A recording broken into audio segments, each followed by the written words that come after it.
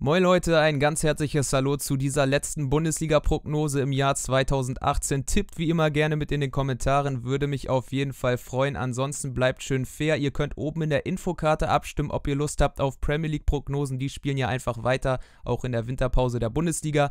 Und ansonsten geht's gleich los. Grüße an Michael Andelfinger, der wollte gegrüßt werden. Das sei an dieser Stelle getan. Und jetzt viel Spaß.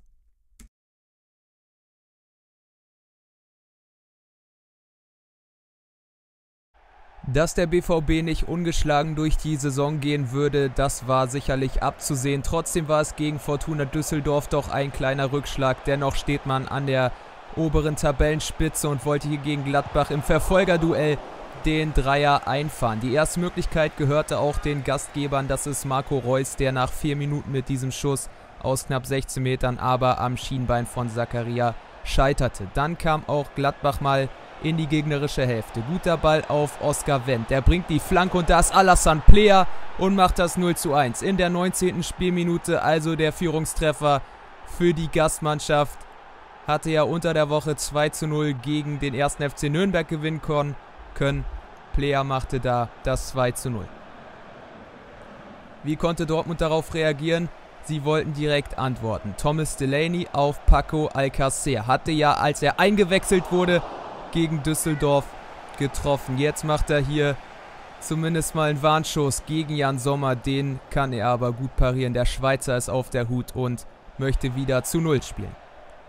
Fünf Minuten vor der Pause wieder der BVB. Paco Alcacer diesmal mit dem Flankenball. Brun Larsen mit der Direktabnahme. Der linke Fuß ist aber hier in dieser Situation nicht der richtige gewesen. Aber es ging erstmal mit diesem 0 zu 1 in die Pause. Für den BVB noch kein Rückschlag, denn man ist ja daran gewöhnt, auch zu Hause vor allem Spiele noch umzudrehen. Fünf Minuten in der zweiten Halbzeit dann wieder der BVB. Axel Witzel auf Jaden Sancho. Der wird nicht richtig angegriffen. Reus, Delaney bekommt den Ball gleich von Brun Larsen. Wieder Delaney, aber in die Arme von Jan Sommer und den fängt er dann ohne Probleme ab. Aber auch Gladbach hatte Möglichkeiten. Stunde gespielt. Das ist dann mal Hermann. Kein verkehrter Schuss, geht aber dennoch über die Querlatte hinweg. Gab immer wieder diese Möglichkeiten, das 2 zu 0 zu erzielen für Gladbach, aber sie schafften es einfach nicht. Und so blieb der BVB eben auch ergebnistechnisch noch im Spiel. Axel Witzel, Reus dann mit dem Ball auf Paco Alcacer. Der setzt sich da gegen Bayer im Laufduell durch und macht in der 69. Spielminute das 1 zu 1. Der Signal Iduna Park, das Westfalenstadion, war wieder hellauf begeistert und der Glaube an den Sieg, an den Dreier in diesem wichtigen Spiel war zurückgekehrt. Jan Sommer aus der Distanz diesmal ohne jegliche Möglichkeit, den abzuwehren. Und der BVB hatte jetzt Blut geleckt und sie spielten noch stringenter nach vorne. Brun Larsen mit der Flanke. Oskar Wendt kann es nicht richtig klären und Marco Reus fällt der Ball vor die Füße und mit seiner Qualität, mit seiner Schusstechnik hämmert er den Ball in der 73. Minute zum 2 zu 1 in die Maschen. Super Abschluss, Glück, dass er da Zakaria noch tunneln kann. Der ist dann zu platziert geschossen, um den abzuwehren. 2 zu 1 also und der BVB hatte jetzt die Möglichkeit, alles klar zu machen. 10 Minuten vor dem Schlusspfiff. Und das ist Marco Reus an den Pfosten. Marco Reus gegen Jan Sommer. Dann nochmal der Nachschuss von Brun Larsen. Und wieder Pfosten. Unglückliche Szene für den BVB, der in dieser Phase der Partie versäumte, es zu entscheiden. Jetzt kam nochmal Gladbach. Vielleicht ein Lucky Punch. Traoré über die rechte Außenbahn. Bringt den langen Ball rein. Der wird verlängert. Strobel und dann Player auf Florian Neuhaus. 2 zu 2 in der 91. Spielminute. Tatsächlich der Lucky Punch für die Mannschaft von Dieter Hecking. Florian Neuhaus kommt da völlig frei zum Schuss vor. Roman Bürki bleibt dann cool und schiebt ihn ein. Borussia Mönchengladbach rettet sich also am 17. Spieltag noch einen Punkt in der Schlussminute. Es war ein Topspiel mit vielen Möglichkeiten, mit vielen Toren, das am Ende zu Recht mit 2 zu 2 zu Ende geht. Der Sieg gegen den FC Schalke 04 war für Bayer Leverkusen extrem wichtig und verlängerte erstmal die Frist von Heiko Herrlich. Aber heute sollte es gegen die Hertha sicherlich den nächsten Dreier geben und sie starteten gar nicht verkehrt in diese Partie. Die erste Möglichkeit gehörte hier Kai Havertz, der sich da ein bisschen einfach drehen kann, aber an Jahrstein noch scheitert. Aber wieder Havertz, der den Ball auf die rechte Außenbahn legt. Bellarabi mit der Flanke und Leon Bailey mit dem 1 zu 0 in der achten Spielminute. Die frühe Führung für die Gastgeber, die aber auch zu diesem Zeitpunkt schon absolut in Ordnung ging. Wunderbar gespielt, tolle Flanke. Aber wir werden in der Wiederholung sehen, dass ein Leon Bailey da so frei nicht stehen darf. Wenn einer mit seiner Größe ein Kopfballtor macht, dann weiß man, da läuft irgendwas schief in der Verteidigung. Sowohl Toro Nariga als auch Fabian Lustenberger sind da zu weit weg. Der Ball ist dann gegen die Laufrichtung von Jahrstein platziert und er kann sich nicht mehr genug strecken mit seiner Länge. Ist er da auch in dieser Situation trotzdem noch machtlos. Wie konnte die Hertha damit umgehen? Erstmal nicht so gut. Es gab die nächste Möglichkeit für Leverkusen. Sie versuchten es, noch einen draufzulegen vor der Pause.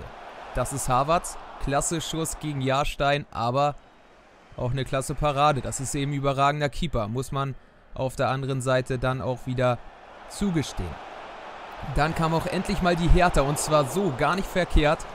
Mittelstädt, super Abschluss, 43. Spielminute, aber Lukas Radetzky ist auch da auf der Hut, kann den Ball parieren. Dennoch war es ein guter und satter Linksschuss von Mittelstädt. Es ging mit dem 1 0 zur Pause zum Pausentee. Es war unter dem Strich eine verdiente Führung, auch wenn Hertha jetzt zum Schluss besser wurde. Jetzt aber wieder Leverkusen mehr am Drücker. Die erste Flanke erstmal an Lustenberger gescheitert, aber Bailey mit dem Nachschuss aus knapp 16 Metern. 52. Spielminute. Wieder eine sehr gute Tat von Jahrstein. Der sorgte hier dafür, dass Hertha BSC weiterhin so gut in der Partie, auch ergebnistechnisch stand. Und jetzt wurden sie mal stärker. Die Elf von Paul Dada hier gewillt, zumindest einen Punkt mitzunehmen. Davy Selke legt den Ball zurück mit der Hacke und Andrei Duda testet mal Lukas Radetzky. Und die Hertha hatte jetzt wieder eine stärkere Phase in dieser Partie. Guter Abschluss, schön satt getroffen aber Radetzky fährt die linke Pranke aus. Viertelstunde noch zu spielen. Baumgartlinger und Chor, die haben da eigentlich den Ball sicher. Jedwai dann mit diesem Katastrophenball. Matthew Leckie passt auf. Der Abschluss von Radetzky gehalten, aber in der zweiten Instanz ist Davy Selke da und macht in der 78. Spielminute das 1 zu 1. Die Hertha belohnte sich jetzt für eine sehr gute Phase und erzielte so den Ausgleich. Schöne Kopfballsituation dann am Ende von Davy Selke. Gut pariert erstmal von Radetzky, aber was anderes kann er da gar nicht machen. Dann ist Jedwai, der den Ball so gespielt hatte, auch wieder falsch postiert und Selke kann einköpfen zum 1 zu 1. Das war dann auch das Endresultat. Dieses Unentschieden geht auf jeden Fall in Ordnung, auch wenn Leverkusen durchaus die Großzahl an Chancen hatte. Sie haben es am Ende nicht geschafft, das in mehr Tore umzumünzen. So endet diese Partie mit 1 zu 1.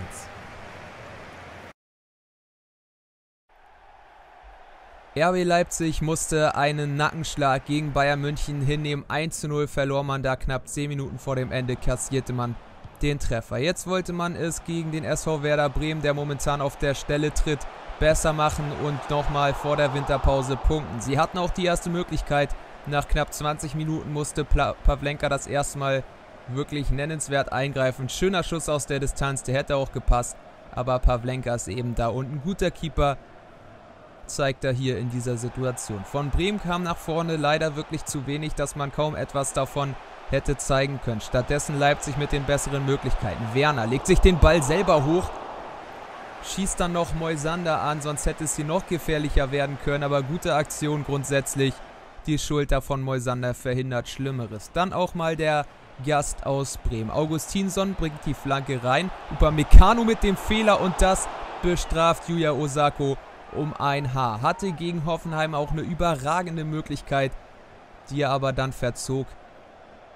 Und auch hier ist er im Pech. Vor der Pause nochmal Leipzig. Kampe legt auf Yusuf Paulsen. Pavlenka ist aber da und kann wiederum den Führungstreffer verhindern. Die Partie wurde immer besser, weil sie jetzt auch ausgeglichener war. Im zweiten Durchgang war dann aber wieder RB Leipzig besser in der Partie. Flanke dann Langkamp erstmal halbgar geklärt. Dann ist das Halzenberg, legt zu Bruma und der Abschluss von Kampel wird aber von Gebre Selassie entschärft und wirklich brenzlig wurde es in wenigen Situationen. Im zweiten Durchgang war es dann noch etwas langweiliger. Jetzt nochmal Bremen in der 65. Spielminute. Wieder Augustinsson, super durchgelassen von Kruse und Osako muss spätestens jetzt den Treffer erzielen. Der hätte auch gepasst, aber Upamecano hat aufgepasst und Gulaschi kann sich bedanken. Sonst hätte es hier sicherlich 0 zu 1 gestanden. Viertelstunde jetzt noch zu spielen. Timo Werner auf der linken Außenbahn. Spielt auf Marcel Halzenberg. Kevin Kampel hat die Übersicht. Dämme, der Schuss von Sabitzer an den Pfosten und Werner steht da, wo ein Torjäger zu stehen hat. Elftes Saisontor für Timo Werner.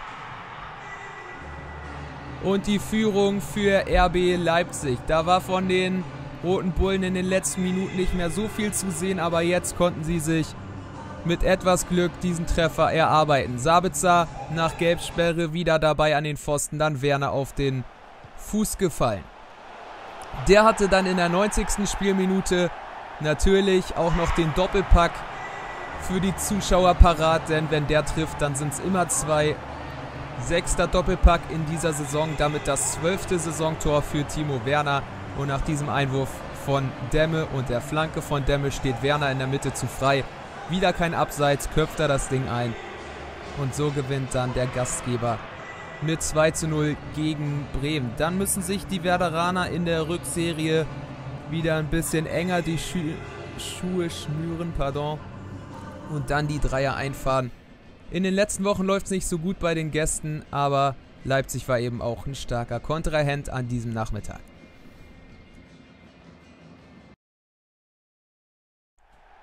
Nach einem kurzen Ab am letzten Samstag, als Stuttgart gewann gegen Hertha beim 2 zu 1, ging es jetzt wieder bergab gegen den VfL Wolfsburg. Verlor man mit 2 zu 0 und war doch alles in allem, besonders zum Schluss, recht chancenlos. Die erste Möglichkeit gehörte hier aber den Schwaben. Die Flanke wird reingeschlagen, der Kopfball von Insua ist auch gar nicht mal so verkehrt.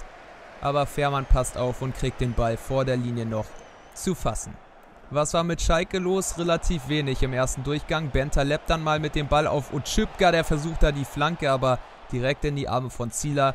Mehr kam von der Elf von Tedesco nicht und die ist ja wirklich krisengebeutelt aktuell gegen Leverkusen zu Hause verloren und das war wirklich keine schön anzuschauende Partie als Königsblauer Fußballfan. Und es schlichen sich immer wieder Fehler ein. Auch das hatte man unter der Woche schon gesehen. Glück in der Situation oder in der Phase, dass es dann mit 0 zu 0 in die Pause gegen der FC Schalke 04 hat deutliches Verbesserungspotenzial, aber auch Stuttgart hatte noch nicht die hundertprozentige Torchance vorzuweisen. Der zweite Durchgang begann dann etwas besser für die Gäste. Bentaleb spielt mit Harit hier zusammen, der hat dann die Übersicht. McKenny auf Haji Wright und der macht das 1 zu 0. Hatte den 1 zu 2 Anschlusstreffer auch schon erzielen können gegen Bayer 04 Leverkusen und jetzt macht der eigentlich in der zweiten Mannschaft spielende Haji Wright sein zweites Bundesligator. Schön gemacht. Und die etwas kuriose Sturmkombination aus Weston McKerney und Haji Wright erzielt hier den Treffer. Hatte es ja auch schon in dieser Kombination gegen Leverkusen gegeben, der Eckstoß, ähm, der dann am Ende das 1 zu 2 bedeutete. Was war jetzt mit Stuttgart los? Viel kam aktuell nicht mehr, sondern Schalke wollte das 2 zu 0 erzielen. Der Ball geht da irgendwie durch auf Harit. Der versucht es dann aus spitzen Winkel, aber Ron-Robert Zieler war zur Stelle nach dieser wirklich langen Flanke von Caligiuri. Der war extrem weit unterwegs, aber Zieler war aufmerksam. Doch Schalke blieb dran, wollte den Treffer nachlegen. Es wäre jetzt auch denkbar und durchaus verdient gewesen. Nochmal Daniel Caligiuri mit der Flanke die wird dadurch gefährlich, dass er sie gar nicht richtig platziert. Und Zieler dann aufpassen muss, dass ihm der nicht im kurzen Winkel um die Ohren fliegt. Zehn Minuten noch zu spielen, nochmal Schalke. Weston McKenney missglückte Flanke und auch das wurde wieder gefährlich. Und das ist ein bisschen sinnbildlich für diese Partie.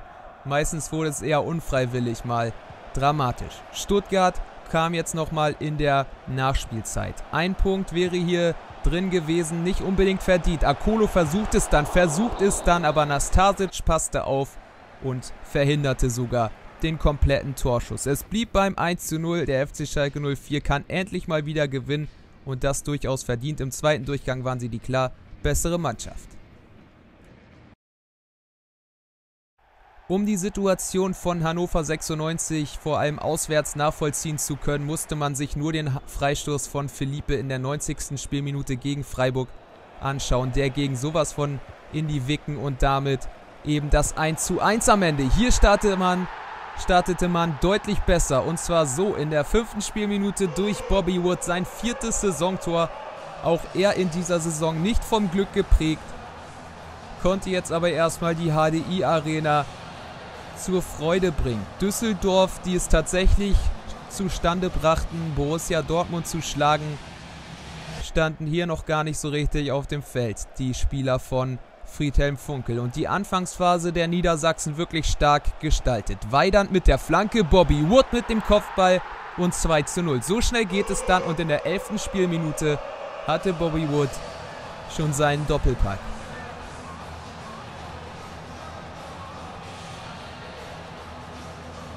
Häufig passiert es ja Mannschaften, nachdem sie gegen starke Teams gewonnen haben, wie Dortmund, wie Bayern, dass man danach dann ein bisschen ja, die Luft rausbekommt. Und so war es auch hier zu Anfang aus Düsseldorfer Sicht nicht wirklich ein gutes Spiel, was sie hier an den Tag legten. Jetzt aber mal endlich ein Offensivzeichen von den Gästen. Sobotka auf Oliver Fink, Luke Bakio auf Takeshi Usami, aber das war da nicht wirklich gefährlich. Den trifft er nicht optimal. Bei glitschigem und nassen Rasen war es aber auch nicht wirklich einfach, meiste Zeit hier den Halt zu bewahren. Jetzt kam nochmal Hannover, 10 Minuten vor der Pause. Bobby Wood, der will doch nicht etwa einen Dreierpack erzielen. Will er natürlich schon, aber in der Szene war er doch recht weit davon entfernt. Weidand duckt sich noch weg, aber Rensing hatte das alles im Blickfeld. Zweiter Durchgang, jetzt wurde Fortuna Düsseldorf noch frecher. Luke Bakio und Fink im Zusammenspiel. Dodi Luke Bakio legt nochmal zurück, gut den Ball dort in der Szene festgemacht. Zu Botke auf Oliver Fink und der mit dem 2 zu 1 Anschlusstreffer in der 58. Spielminute. Die Hoffnung und der Glaube bei der Gastmannschaft war zurückgekehrt und bei Hannover schlotterten jetzt natürlich die Knie. Nicht unbedingt diesen 2-0 Vorsprung noch komplett aus der Hand geben zu wollen, ist ja auch klar. Sie stehen weit unten in der Tabelle. Und Düsseldorf roch jetzt Lunte. Luke Bakio. Dodi Luke Bakio auf Usami. Und Michael Esser ist in dieser Szene der Retter für Hannover 96. Ganz wichtige Szene. Da ist er schnell genug unten, kann sich zu Recht feiern lassen.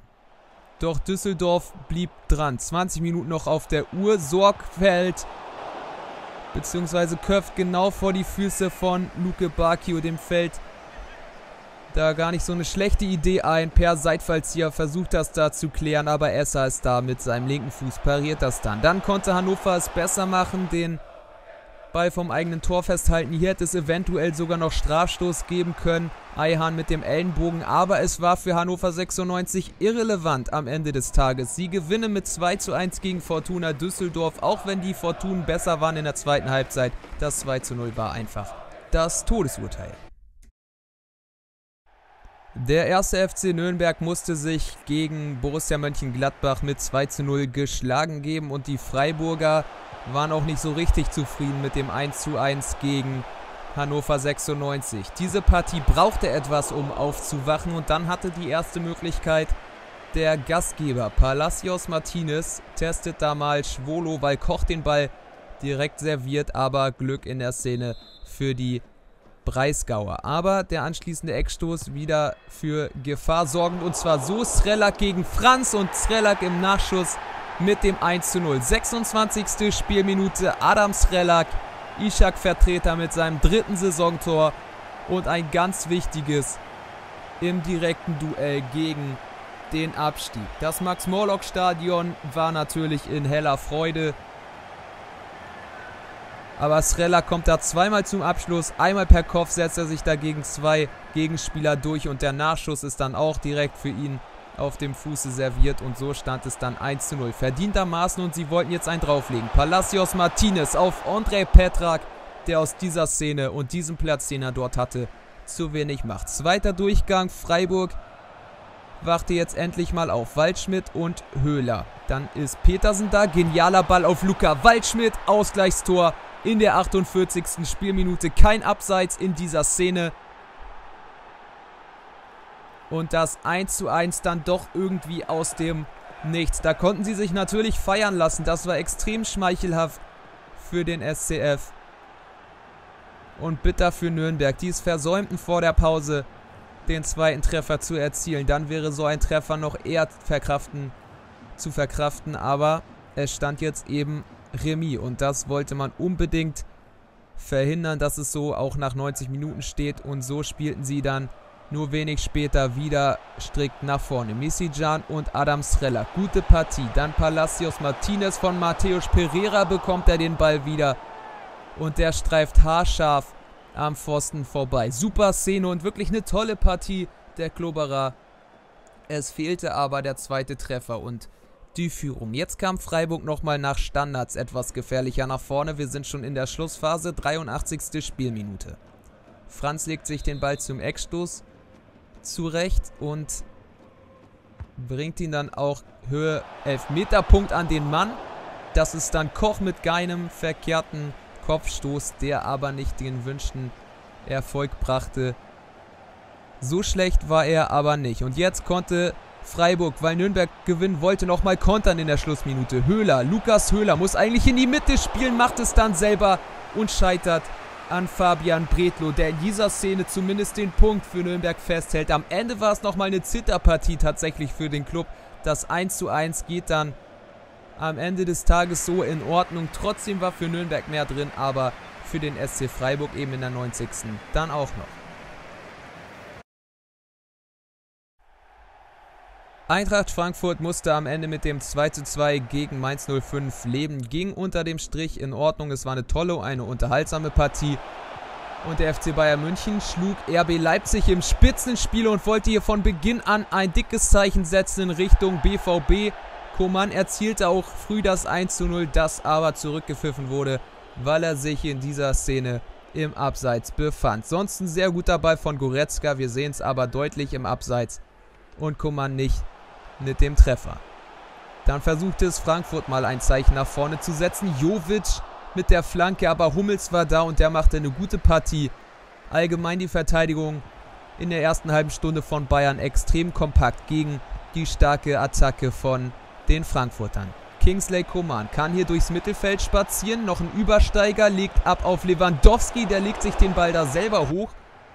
Und dann versucht er es da mit dem Abschluss. Aber Kevin Trapp war da. Fünf Minuten vor der Pause nochmal der FCB. Lewandowski legt rüber zu Thomas Müller und der zieht einfach mal flach ab und macht in der 42. Spielminute das 1 zu 0 für die Gäste. Verdient war es auf jeden Fall. Die Gäste hatten mehr Spielanteile in der gegnerischen Hälfte und das ist dann ein sehr guter Abschluss von Thomas Müller. Kann man nicht anders sagen.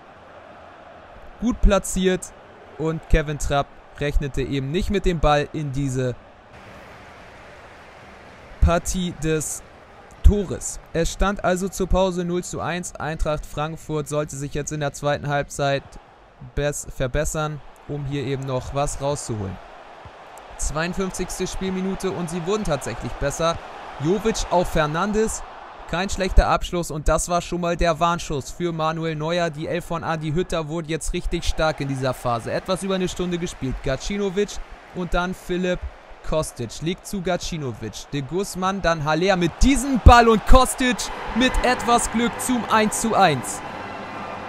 Zweites Saisontor für Philipp Kostic. Hatte auch beim letzten Heimspiel gegen Bayer 04 Leverkusen getroffen. Und die Eintracht machte hier das hochverdiente Ausgleichstor.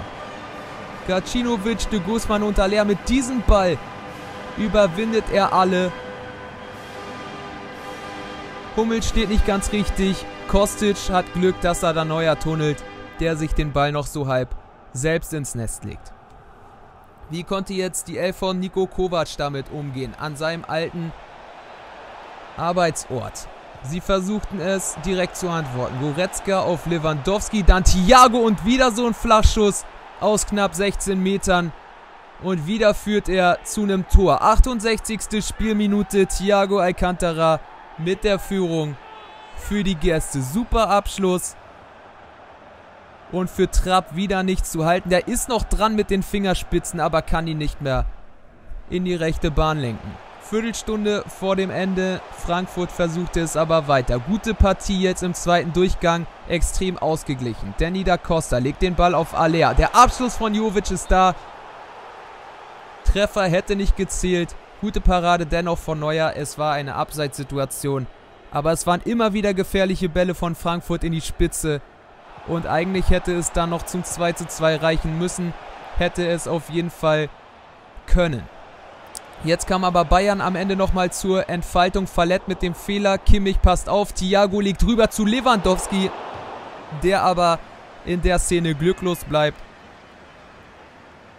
Und nicht seinen Treffer hier erzielen kann. Am Ende steht ein 2 zu 1 für Bayern München. Ein harter Kampf, ein tolles Spiel, besonders im zweiten Durchgang endet.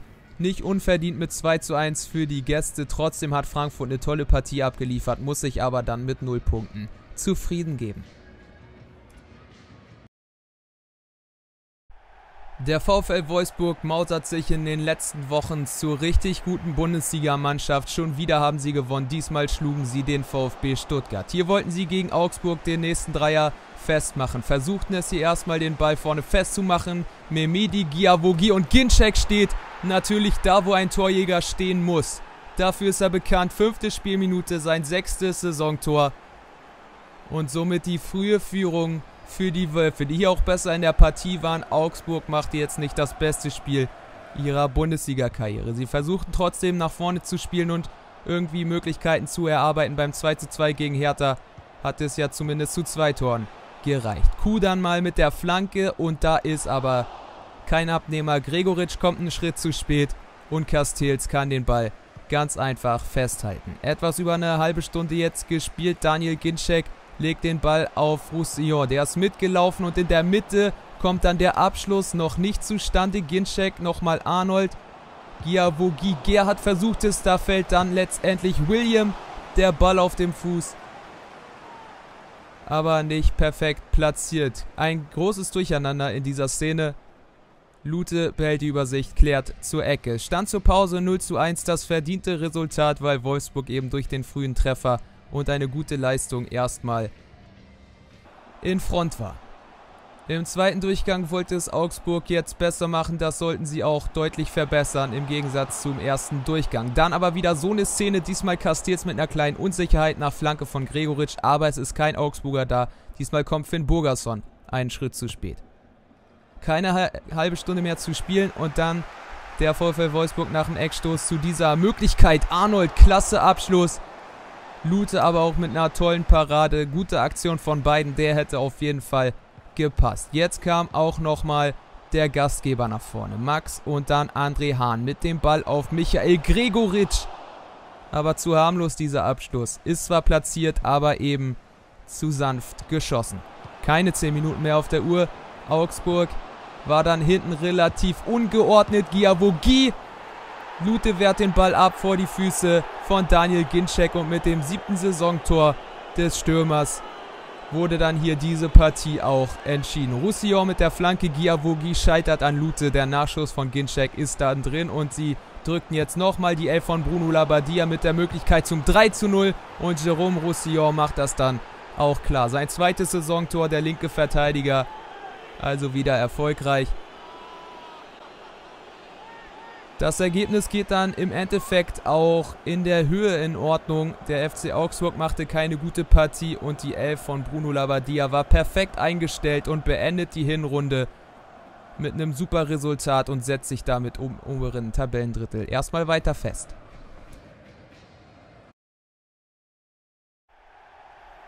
Hoffenheim gegen Mainz, der Abschluss des 17. Spieltages, die letzte Bundesliga-Partie im Jahre 2018 und sie sollte nicht sonderlich gefühlvoll oder interessant losgehen. Wir sind schon fast eine halbe Stunde in der Partie, dann versucht es Mainz tatsächlich mal mit einem Vorstoß. Aaron Martin auf der linken Außenbahn kriegt keinen Druck, aber Adams Nuhu ist dazwischen und es kam Unruhe auf. Bei Hoffenheim ist man ja auch mal wieder dazu angefasst, zu gewinnen. Nicht unbedingt gut in dieser Szene oder in dieser Phase der Partie. Jetzt kamen sie fünf Minuten vor der Pause endlich mal vors Tor. Und zwar Nico Schulz mit dem Abschluss. Kein Problem aber für Robin Sentner. Den fängt er ganz locker ab. Wir springen schon in den zweiten Durchgang. Mainz 05 war die bessere Mannschaft, hatte aber noch keine Möglichkeiten. Jetzt kam sie aber Latzer mit der missglückten Flanke und dann Mateta der doch noch mit dem Kopf rankommt, sich lang macht, den langen Hals hier riskiert und der hätte auch gepasst. Aber Baumann, der etwas zu weit vor seinem Kasten stand, passte auf. Jetzt gab es in der 55. Spielminute einen Eckstoß von der rechten Seite. Gefährlich reingetreten auf den zweiten Pfosten. Baumann läuft unterm Ball hinweg und Robin Quaison passt auf. Viertes Saisontor für Robin Quaison. Ja, auch gegen Frankfurt unter der Woche erfolgreich gewesen und jetzt macht er hier die Führung für die Elf von Sandro Schwarz. Absolut verdient. Gute Auswärtspartie, extrem kompakt in der Verteidigung von Mainz 05.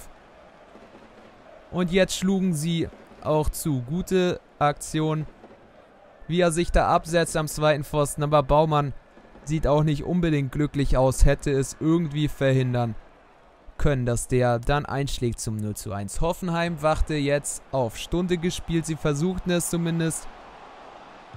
Muss man aber auch erwarten. Joel Linton dann mal auf Kader Rabeck. Der hatte eine hundertprozentige Möglichkeit in der Schlussminute gegen Bremen. Ähnlich schwach, muss man jetzt leider sagen, versäumt er es hier, den reinzumachen. Mainz war aber weiterhin die bessere, spielerisch überlegene Mannschaft. 67. Spielminute. Der Abschluss von Mateta wurde hier noch abgefälscht, sodass keine Gefahr entstand. Keine 10 Minuten mehr zu spielen und von Hoffenheim weiterhin sehr wenig nach vorne. Dann stattdessen wieder Mateta.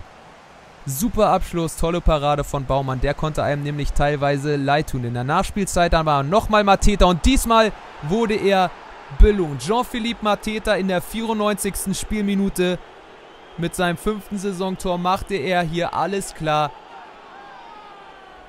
Die Tribünen leerten sich, Hoffenheim war geschlagen und es war keine gute Heimpartie der Elf von Julian Nagelsmann. Baumann kann sich strecken, wie er will, er reicht den Ball nicht mehr. Zumindest nicht entscheidend. Und so entführen die Gäste hochverdient einen Dreier aus der Würsel Rhein-Neckar Arena und damit starten sie perfekt in die Winterpause. Hoffenheim hingegen muss sich dann für die Rückserie etwas Besseres einfallen lassen als das, was sie hier heute leider gezeigt haben. Jo, das war die Prognose zur Bundesliga. Jetzt ist ja erstmal Winterpause. Ihr könnt oben noch abstimmen, ob ihr euch für die Premier League interessiert. Würde mich auf jeden Fall freuen, wenn sich das ein paar Leute anschauen würden. Auf jeden Fall vielen Dank fürs Zuschauen, Daumen, Abo und so weiter. Ansonsten bis zum nächsten Video und tschüss.